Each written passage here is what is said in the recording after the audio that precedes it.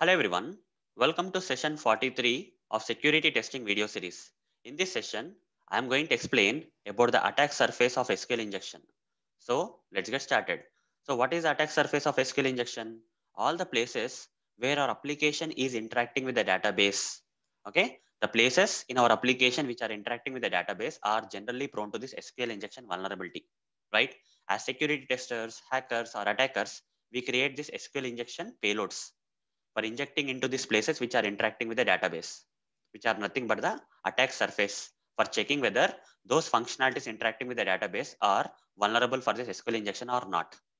Now, let me show you or list down the list of general functionalities in any application you take guys.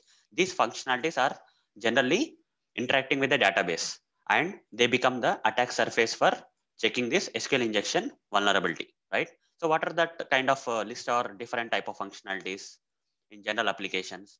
Like some places where you add guys, okay? Add, update, edit, delete, get details and such. Okay, these are the general functionalities of any application guys, which interact with the database. And uh, these are the places where the hackers, attackers or security testers will inject this SQL injection payloads for checking whether these functionalities are vulnerable to SQL injection or not. Fine. So if I have to give an example for adding a registering an account, okay, creating an account or registering an account, this functionality interacts with the database. Whatever the details you provide while creating an account, right, they will be stored in the database, right? So this functionality interacts with the database. Like similarly, creating some address, guys, okay, creating, adding an address, adding an address. So that also falls into adding. But coming to the updating or editing, you can edit the account details, right? Once you create an account, you can edit the account details or update the account details. Or once you add an address, you can update the address details. So those details are also updated in the database. When you update in the application, the same details are getting updated in the database. That means this functionality is also interacting with the database. And deleting is when you delete something on the application, the same gets deleted on the database. That means this functionality is interacting with the database. Now coming to the login, okay? When you log into the application, what happens guys? A request will be sent to the server with the credentials given credentials, a request will be sent to the server and server will create a query, SQL query kind of thing, and it will query on the database with that credentials to see whether there is an existing account uh, with the given details or not. That means login functionality is also interacting with the database. Now search case, when you search for something in the application, when you search for something in the application, so that request will be sent to the server and server will create a SQL query to query on the database, which that particular search term you have given. Okay to see whether uh, we can show some results on the page or not. So let, now let me uh, take one example, practical example. Okay, I'll take this demo.testfire.net to show you the functionalities. You see, this is a search functionality, guys. Okay, in this search functionality, you can inject some SQL query.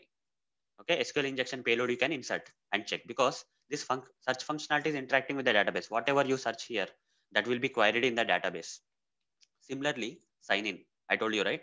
Here also, when you enter these credentials here, these credentials will be queried on the database to see whether there is an existing account for these credentials or not. Okay, this is also the same thing. Now, uh, here some getting the details, guys. Okay, I was uh, telling you about uh, getting the details, right? Getting the details. For example, if I click on the go button here, if I click on the go button here, all these details are coming from the database, right? So when I click on that go button there, these details are coming from the database, guys. So that getting details functionality, search functionality is already covered. Delete account, if you delete an account for this uh, application, or if you register an account for this application, or you update the account details, or any updations, or you uh, like uh, when you send some feedback, these details will be stored in the database. So anything guys, anything related to adding, updating, editing, deleting, getting details, search, etc., etc., kind of functionalities are general functionalities which interact with the database and they are vulnerable for SQL injection vulnerability. Okay, there is a possibility of SQL injection vulnerability in those kind of functionalities which interact with the database and hackers, attackers or secure testers will create SQL injection payloads to check whether these functionalities are vulnerable to SQL injection or not. Hence they become the attack surface for SQL injection. All the things, okay, all the things in the application, all the total places in the application which interact with the database are nothing but the attack surface of SQL injection guys. So hope guys you understood what is the attack surface of SQL injection in this session. So that's it guys. Thank you. Bye.